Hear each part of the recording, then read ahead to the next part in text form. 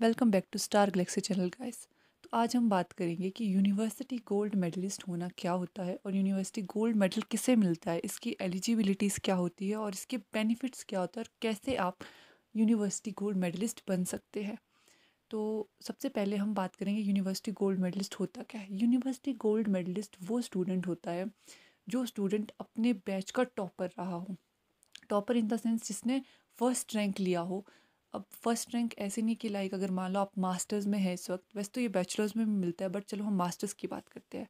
आपने किसी यूनिवर्सिटी में मास्टर्स में एडमिशन ले ली और अब आप वहाँ पढ़ रहे हैं और जब आपके चारों के चारों सेमेस्टर या फिर फ़र्स्ट और सेकेंड ईयर कंप्लीट हो जाता है, उसके बाद आपका रिज़ल्ट जो है फाइनल रिज़ल्ट आता है फाइनल एग्रीगेट परसेंटेज आती है चारों सेमेस्टर की या दोनों ईयर्स की मिलाकर और आप पूरी क्लास में उसमें टॉप कर जाते हैं, आप फ़र्स्ट रैंक होल्डर होते हैं। तो आप गोल्ड मेडलिस्ट कहलाते हैं अपनी यूनिवर्सिटी के। आपको पूरे बैच में टॉप किया है तो आप गोल्ड मेडलिस्ट है अपनी यूनिवर्सिटी के। और अब इसके लिए एक क्राइटेरिया भी होता है। मिनिमम क्राइटेरिया ये है कि आपकी जो वो क्लास है, उसमें कम से कम मिनिमम दस बच्चे होने चाहिए। आपका जो क्लास है, आपकी जो बैच है, वो दस बच्चों का होना चाहिए। अगर आप उस दस बच्चों से कम में टॉप करते हैं, मान लीजिए दस बच्चे नहीं है, नौ है, आठ है, सात है, दस से नीचे है बच्चों की स्ट्रेंथ और उसमें अगर आप टॉप करते तो आपको एक मेरिट सर्टिफिकेट मिलता है तो आपको गोल्ड मेडल नहीं मिलता। गोल्ड मेडलिस्ट होने के लिए आपकी क्लास में या बैच में टोटल दस या दस से ज़्यादा बच्चे होने कंपलसरी है, जिस भी यूनिवर्सिटी या में आप पढ़ रहे हैं। और दूसरी बात आती है, कुछ बच्चे बोलते हैं कि, लाइक, हमने कॉलेज में टॉप किया है अपने तो क्या हम गोल्ड मेडलिस्ट हो गए? नहीं।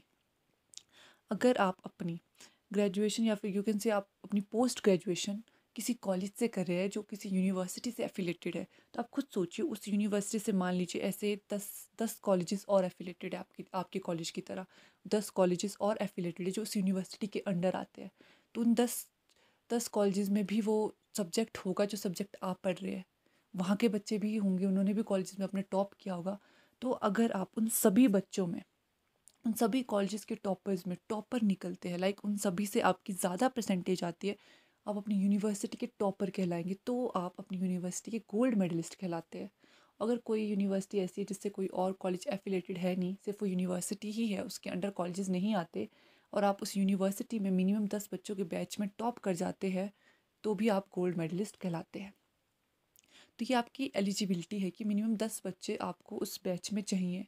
अपने सब्जेक्ट के दस बच्चे चाहिए, तभी आप उसमें टॉपर कहलाते हैं। अब इसमें होता है हा, क्या बोलते हैं हाउ टू बी वन आप कैसे गोल्ड मेडलिस्ट बन सकते तो देखिए ऐसा सच तो कोई आपको रास्ता नहीं बता सकता कि आप गोल्ड मेडलिस्ट कैसे बन सकते हैं।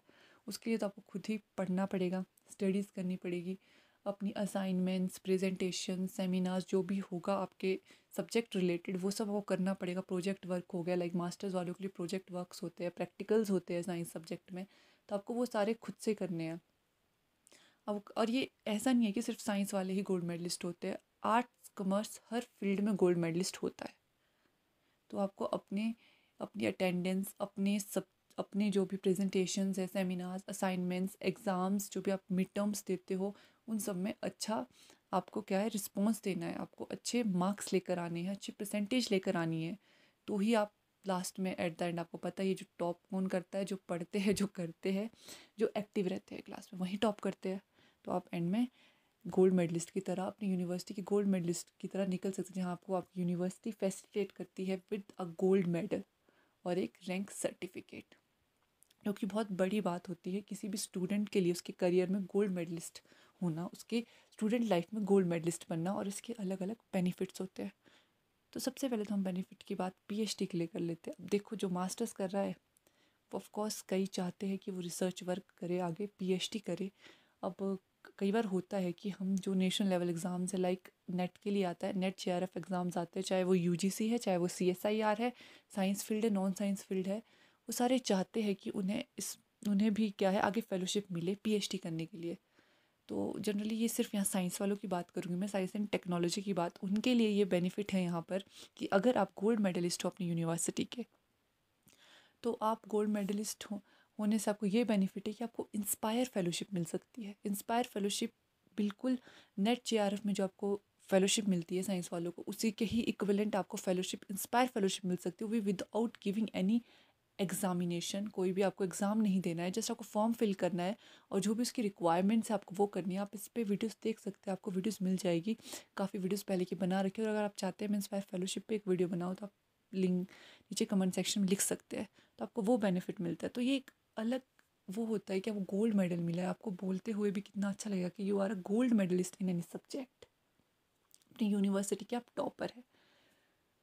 तो इस वीडियो में इतना ही। अगर आपके कोई क्वेश्चंस और है गोल्ड मेडलिस्ट रिगार्डिंग तो आप नीचे कमेंट सेक्शन में अपना क्वेश्चन छोड़ सकते हैं। अगर आपको अच्छी लगी लाइक करें सब्सक्राइब करें एंड शेयर करें। और हाँ ऑल द वेरी बेस्ट जो अभी अपने मास्टर्स में है या बैचलर्स में है, अभी भी मौका है आप गोल्ड मेडलिस्ट बन सकते हैं study hard thank you so much for watching